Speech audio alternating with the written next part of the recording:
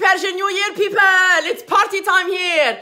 Uh, I uh, got this uh, mask, the Desert Princess veil, because, well, I am completely deserted. At the pharmacy, they didn't have any hygiene mask, so this is what I'm left with. what can I do? I don't even know why I need a mask because I can't go to the mosque. I'm stuck at home.